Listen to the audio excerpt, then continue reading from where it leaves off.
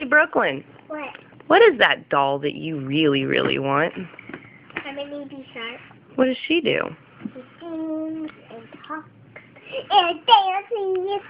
Oh, yeah? How are you going to get that? And Mammy is gonna buy it for me. She is. Yeah. Well, I think she'll have to ask Uncle Cory. No, I am. You're going to ask Uncle Cory? Yeah. Okay, well, what would you say to him? Please can Aunt Nene bring Mammy be safe?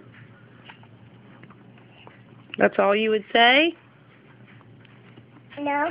He he he is the best Uncle Cory ever in the whole wide world. would you tell him you love him? Yeah. You should do that. Okay.